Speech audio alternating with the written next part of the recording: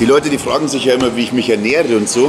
Aber eigentlich bin ich übelst der crazy Motherfucker, wenn es um die Ernährung geht. Weil viele Jahre in meinem Leben war ich sehr strikt und habe nur hundertprozentig nach Plan gegessen. Aber irgendwann habe ich dann so für mich rausgefunden, wenn du immer nur nach Plan isst, dann wirst du irgendwie asozial. Ich saß da bei der Hochzeit von meiner Schwester und habe da meine Tupperschüsseln dabei und so. Und dann irgendwann habe ich so realisiert, so fuck, willst du noch leben? Willst du nur Fitness machen? Willst du Balance in deinem Leben haben? Und dann habe ich angefangen, mich damit zu beschäftigen und gesagt, ich muss schauen, wie ich flexibel essen kann. Dass ich schaue, wie viel verbrenne ich am Tag, wie viel Kalorien brauche ich am Tag, was taugt mir gut, wie ist mein Hungergefühl, wie ist mein Mut. Weißt deine Emotionen, die steuern dich ja auch ganz sehr, wie dein Essen oder dein Hunger und so ist. Und dann habe ich mich da einfach selber studiert, studiert, studiert und so halt herausgefunden, wie es für mich am besten funktioniert, dass ich flexibel essen kann. Somit esse ich immer alles, was ich will. Die letzten paar Wochen habe ich übelst viel M&M-Schokolade gegessen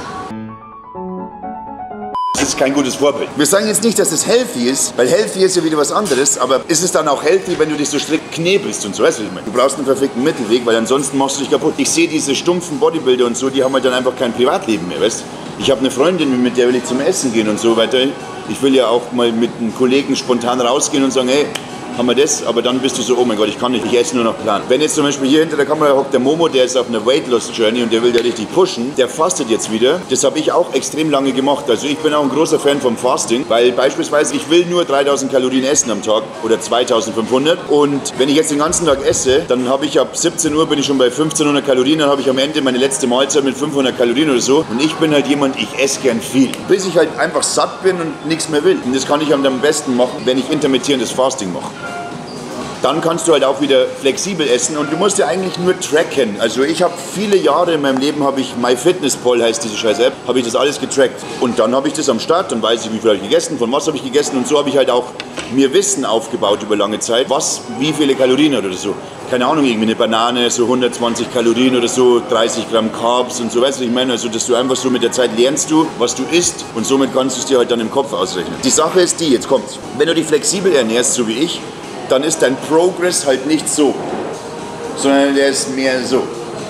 Also von dem her ist dein Progress vielleicht langsamer, wenn du es flexibel machst, aber was ist angenehmer für dich? Weißt du, was ich meine? Es ist alles kein Sprint, diese ganze Geschichte ist ein Marathon. Und du musst es für dein Leben halt lernen und du musst es auch als, als Lifestyle einfach machen. Weil nur dann kannst du das langfristig auch durchhalten. Ansonsten wirst du immer wieder rückfällig. Leute, die machen irgendwelche krassen Diäten und so und danach gehen sie das ganze Weight wieder weg. Weil du nimmst nämlich eine Methode her, das musst du mal sagen, eine Methode, das ist eine spezielle Technik, zum Beispiel Intermittent Fasting und so. Ich habe einen Kollegen, der macht gerade so eine Technik, der isst nur 1200 Kalorien am Tag, der hat 180 Kilo gehabt, der ist jetzt bei 130, ist aber ein riesen Ommel. Der nimmt jetzt diese Technik her. Der hat es schon mal gemacht und dann hat er das ganze Weight wieder zurückgegaint wenn du so irgendwann mal übergewichtig wirst und du bist, dann hast du irgendein Problem. Jetzt, wenn du dir das nicht aberziehst mit der Zeit und Wissen über Ernährung und diese ganzen Techniken heraus, also wie du, dich, wie du für dich funktioniert, dann ist es schnell, dass das ganze Gewicht wieder zurückgehst. Wenn du jetzt einfach nur einen Nahrungsplan verfolgst, dann, dann, dann, dann sagst du dir selber, okay, ich schalte mein Hirn aus, ich esse das und es funktioniert. Aber wenn du dann wieder aufhörst damit, dann bist du wieder verloren.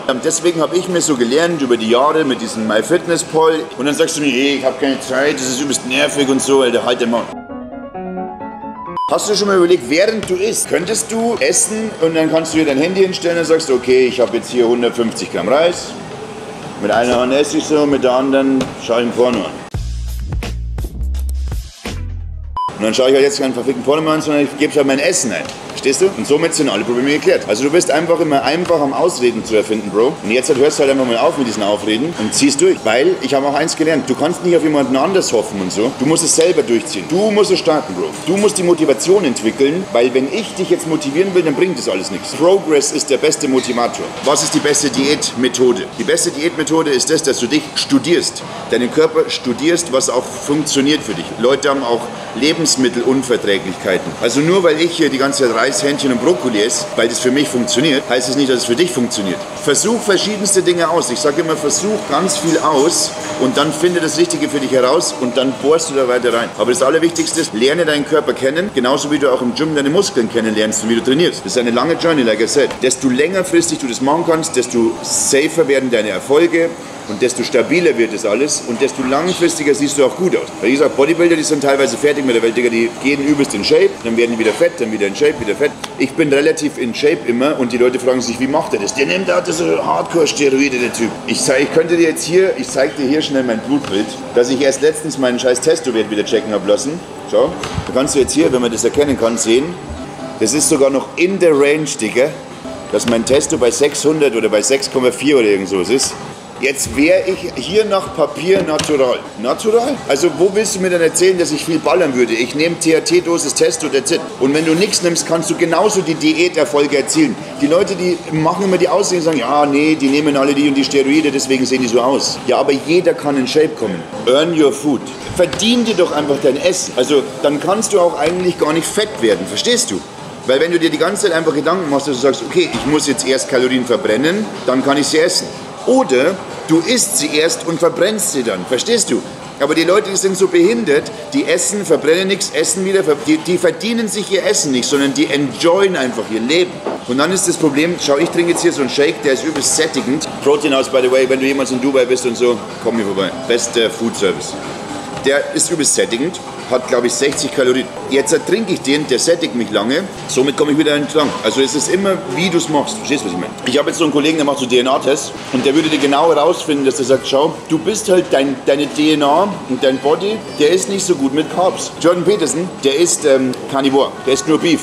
Und der sagt auch, das ist die beste Diät für ihn, er ist am fittesten im Kopf und so weiter. Es gibt so viele Diätformen, aber nur weil das für den funktioniert, heißt es nicht, dass es für mich funktioniert.